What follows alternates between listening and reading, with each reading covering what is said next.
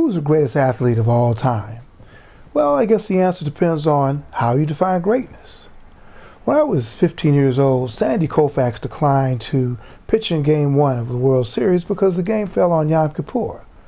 I wasn't familiar with the holiday at the time, but I was impressed that an athlete of Koufax's stature would place his beliefs above a World Series start. So I immediately changed my criteria for greatness in athletes. It had to be more than home runs and touchdowns and rebounds, but rather who used their prominence to help change or influence the course of human events. Muhammad Ali sacrificed a boxing title rather than go to war.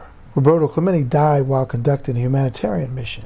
And Arthur Ashe used his prominence as a tennis player to fight against apartheid and AIDS. Who among this current generation of athletes will we be speaking about 50 years from now for sacrifices they made or movements they led?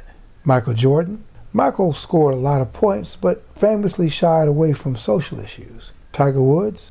Tiger was compromised by indulgences wrought by celebrity and wealth. So when you talk about greatness, using my criteria, it's a short debate and an even shorter list.